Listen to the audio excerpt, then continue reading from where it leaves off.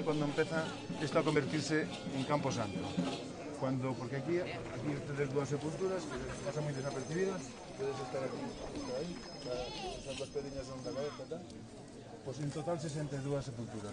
Excavamos encima de lo que merece no poblado. Entonces, eso empezó a excavar desde ese, eh, a, a, ocupar desde ese momento. Despois, por eso, creemos que a iglesia é unha, unha raíz moi, moi, moi temprana. Moi, moi temprana. O sea, a edificación que estamos vendo ten moitísimas remodelacións.